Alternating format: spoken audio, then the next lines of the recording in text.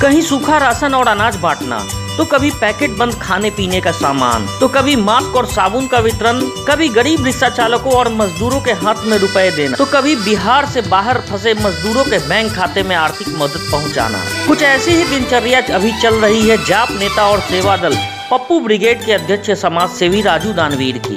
गौरतलब है कि कोरोना वायरस से जारी जंग में लॉकडाउन हुए अब डेढ़ महीने से अधिक हो चुके हैं। इस लॉकडाउन की वजह से गरीबों और प्रतिदिन कमाने खाने वाले और प्रदेश में जाकर रोजी रोटी कमाने वाले लोग सबसे ज़्यादा प्रभावित हुए हैं।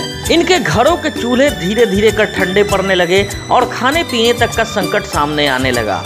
ऐसे में हमेशा से गरीबों और जरूरतमंदों की सहायता करने को तत्पर रहने वाले राजू दानवीर ने लॉकडाउन के अगले दिन से ही इनकी हर संभव मदद करने का बीरा उठा रखा है। पप्पू ब्रिगेड के अध्यक्ष राजू दानवीर ने अपने साथियों के साथ मिलकर पटना और नालंदा के दर्जनों मोहल्लों और इलाकों में घर घर जाकर और सड़कों एवं फुटपाथों पर जीवन बिताने वाले तमाम जरूरतमंदों को उनकी ज़रूरत के हिसाब से सूखा राशन पैकेट बंद खाद्य सामग्री और आर्थिक मदद पहुँचा रहे हैं। उनके द्वारा इस चलाए जा रहे मदद अभियान की खबरें विभिन्न मीडिया पर चलने के बाद राज्य के बाहर फंसे प्रवासी मजदूर भी उन्हें उनके हेल्पलाइन नंबर पर मदद के लिए फ़ोन करने लगे। राजू दानवीर और उनकी टीम द्वारा उन सभी के खातों में भी यथासंभव लगातार मदद भेजी जा रही है।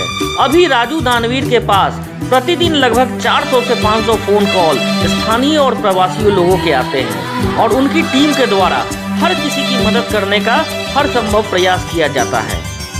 गरीबों और ज़रूरतमंदों की सेवा करना यही सबसे बड़ा स- धर्म है, समझ लीजिए, मानवता है।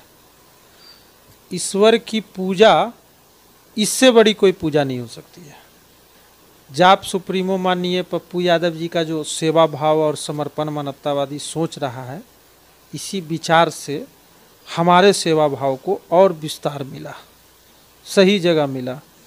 अब ये सेवा भाव ऊंचाई ले रहा है और कई बेहद पैमाने पर हम कर रहे हैं।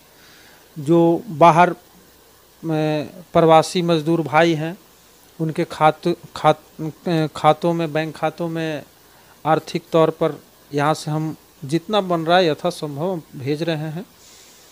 पटना, नालंदा के कई इलाकों में बेहद पैमानों पर अपने साथियों द्वारा राशन पानी बंटवा रहे हैं, खाद्य सामग्री, राहत सामग्री, जो भी है, वो सब बंटवा रहे हैं।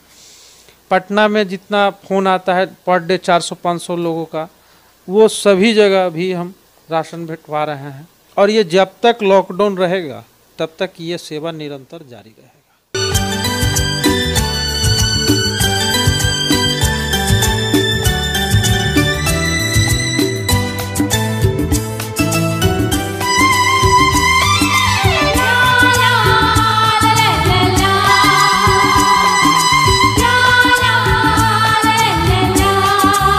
राजू दानवीर और उनके जैसे तमाम लोग जो जरूरतमंदों की सहायता को अपना धर्म मानते हैं, उन सभी को हमारा सत सत नमन और धन्यवाद। और आप सभी दर्शकों से अनुरोध है कि अभी लॉकडाउन के तीसरे चरण में, मिली राहत में सोशल डिस्टेंसिंग और खुद को इस जानलेवा वायरस से बचाने के सभी निर्देशों का ज़रूर अनुपालन करें। मनीष कुमार, आपकी आवाज़ न्यूज़, पटना।